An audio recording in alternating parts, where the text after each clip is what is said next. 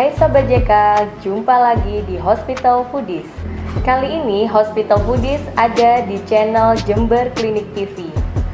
Episode kali ini kita akan membuat makanan pendamping ASI